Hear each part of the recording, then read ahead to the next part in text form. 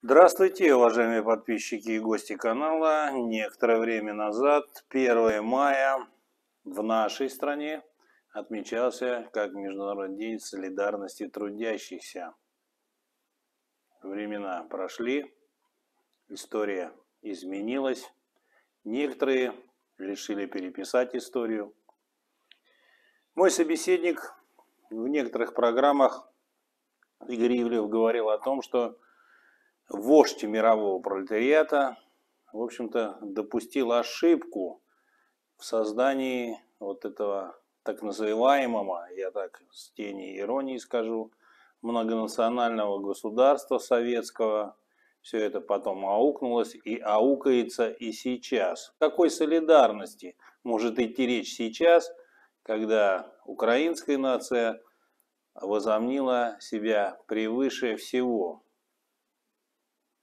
Помните такой, кто не помнит, наверное, не знает, был такой труд Владимира Ильича Ленина о праве нации на самоопределение. Ну вот, украинцы самоопределились, и все тот же кандидат наук Игорь Александрович Ивлев расскажет нам, как же появился и на свет этот украинский нацизм, с чем сейчас и пытается бороться российская армия. Вот в этом вопрос. Причем в таких формах, я бы сказал, очень острых, опасных, злобных. Ну, есть национализм в Польше, но, по-моему, такого он не достиг. Есть в Прибалтике, но тоже такого не достиг. Там все как-то укладывается в рамках ну, политических. Я думаю, это вот мое мнение, историческая судьба такая. И в чем она проявилась? Вот Путин как на днях выступал, сказал, что это вот э, начиная там с подготовки к Первой мировой войне, Австрия и Польша абсолютно правильно. Но я думаю, что гораздо глубже. Гораздо глубже. Тут уже на готовую почву все это ложилось. Началось с того, что произошел распад Киевского государства. Э, ну, где-то до середины 13 века так называемая Гальцко-Волынская Русь, она вполне себя признавала частью единого государства. Э, считались они как-то и с великим князем, который в это время сидел во Владимире. Тут, по-моему, был все вот Большое Гнездо. Значит, э, признавали, что они вот младшая ветвь дома Рюрикова, значит, и вот великий князь там. А дальше что произошло? Дальше пресеклась династия. Вот так называемые Романовичи, там, в Галиции. То есть вот эта ветвь Рюриковича, она пресеклась. Э, вот что, может я ошибаюсь, это очень тонкий вопрос, но мне кажется, что там э, психологические особенности народа, который там населял, ведь ну Киевская Русь Русь, но она стояла из разных племен, вот здесь в Рязани Вятичи, в Киеве там Поляне, в Смоленске, Витебске, Кривичи, там, Терговичи и так далее. А там киверцы и дулебы, по-моему, если я не ошибаюсь. Но это не важно. Определенные были моменты, понимаешь, это брутальные были народы. Вот боярство, а оно с боярству само по себе не могло без поддержки народа. С поддержкой народа, конечно, буквально сожрало династию. Но дело доходило до того, что любовницу князя какого-то там, не помню сейчас какого, повесили. Ну, где это вот в любых других э, регионах и княжествах вы не найдете такого примера. То есть вот такая вот, значит, ситуация, вот поведение, так сказать, особенности психологические, они привели к тому, что династия пресеклась. И произошел распад Галицкого воинского княжества. Ну, в силу вот этих династических связей, Волынь, она в основном отошла к Литве, Великому княжеству Литовскому. А Великое княжество Литовское – это православное в то время было государством. Там две трети населения были русские, э, бывшие вот территории княжества Киевского. А Галиция вот рассадник теперешнего национализма, она попал в Польшу, то есть в католическую среду. Но там не, не сразу, конечно, вот под влиянием католицизма все это оказывало влияние, но это очень медленный процесс. Но тем не менее, значит, в XVI веке в результате двух уний э, произошел раскол православия, откол, точнее говоря, калицийской церкви от православия и образовалась униатская церковь. В результате так называемой Брестской, а потом Люблинской унии. Ну что там произошло? Группа епископов из-за чисто шкурных соображений А там порядок сложился такой, что епископы, они зачастую покупали свои места, назначались там влиятельными людьми. Из этих шкурных э, соображений отпал от православия, признал верховенство Папы Римского. То есть вот это так называемая э, греко-римская церковь. Она волей-неволей должна была как-то разжигать вот этот национальный аспект, потому что у ней не было опоры в других-то краях, в других странах православного мира. Она опиралась только на Ватикан и на, вот, на национальные эти дела. Но тем не менее и это еще не все. Дальше, так сказать, вот под влиянием, конечно, культура, традиции, даже язык менялись. Но тем не менее, когда в 12 году, после того, как Наполеон дал по морде русской армии под аустерлийцам, и русская армия возвращалась на родину после заключения перемирия с Наполеоном, в том числе и через Галицию. А потому что на нашей стороне там Австрия воевала, ушли через Австрию. Значит, в том числе и через Галицию они увидели, говорят, батюшки, так это же мы. Они первый раз увидели русских, москалей, как в их терминологии. И дальше они опять их не видели, до самого 39-го, или там чуть, может, пораньше года. Значит, стал подниматься э, ну, русофильский аспект, русофильские настроения стали подниматься. Тогда вот австрийцы, понимая, что союз э, с Россией это все-таки явление временное, начали там всячески э, вот подстегивать и разжигать вот эти националистические настроения. А беда еще в том, что не было элиты своей у галицийской, значит, э, у галицийского народа, у галичан. Вся элита, она, ну, она по происхождению была частично, видимо, русская, э, но и поляки были. Но та русская элита, которая там была, она ополячилась. Они приняли католицизм, потому что они там льготы определенные имели, политические, социальные. И вот эта вот элита, она очень удобная оказалась для Австрии, и они стали выдумывать язык, э, учитель какой-то, понимаешь, но по происхождению поляк, изобрел азбуку для галичан. Значит, э, разные там, так сказать, э, культурные воздействия, так сказать, культур пытались, так сказать, повлиять. Значит, выживали, выживали сторонников России, значит, 1830 году, если помните, значит, было восстание поляков. Вот после всех разделов Польши восстание антирусское, антиавстрийское, антипрусское. Значит, Австрия, воспользовалась моментом, сформировала вот из западноукраинцев, из э, галичан, сформировала э, два или три полка, которые подавляли это восстание в составе австрийской армии хорошо воевали. За это им императрица Мария Терезия подарила знамя, пожаловала знамя. Вот это желто-блакитное, выражаясь по-ихнему, значит, желто-голубое вот это знамя, которым они теперь пользуются. Но теперь оно по всей Украине. Первоначально оно было пожаловано галици, галицийскому, значит, квас народу, галицийским людям, значит, вот за участие в подавлении, э, значит, э, восстания польского. Ну и э, наша, конечно, интеллигенция петербургская и московская, она тоже очень прохладно отнеслась к этому, рассматривали, ну подумаешь, вот там национализм поднимается, это все балушки, это все ерунда, это все этнографические чудеса. Даже вот икона так западных украинцев Тарас Шевченко, он же не говорил, что он на каком-то отдельном языке говорит, он говорил южно-русский диалект. Он сам оценивал свой язык, то есть украинский язык, как южно-русский диалект. А Украину как государство изобрел генерал Гофман, немецкий генерал, которым потребовалось заключить мир в 18 году отдельно от России. Брестский мир, а там еще был мир с Украиной отдельно. Это я забежал вперед немножко.